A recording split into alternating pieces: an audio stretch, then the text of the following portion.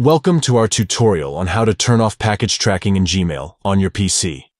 Gmail automatically detects and highlights tracking numbers in your emails, making it convenient to track packages. However, if you find this feature unnecessary or prefer not to see package tracking information, this tutorial is for you.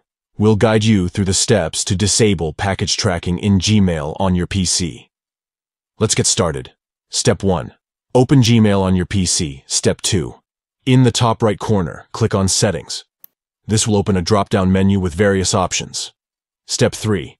Select See All Settings. This will take you to the Gmail settings page. Step 4. Scroll down until you find the Package Tracking section. Step 5. Next to Package Tracking, disable the checkbox. Once unchecked, Gmail will no longer highlight and track package information in your emails. That's it. You've successfully turned off package tracking in Gmail on your PC.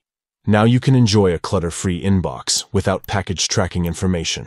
Thank you for watching our tutorial. If you found this information helpful, please give this video a thumbs up and don't forget to subscribe to our channel for more Gmail tutorials and useful tech-related content.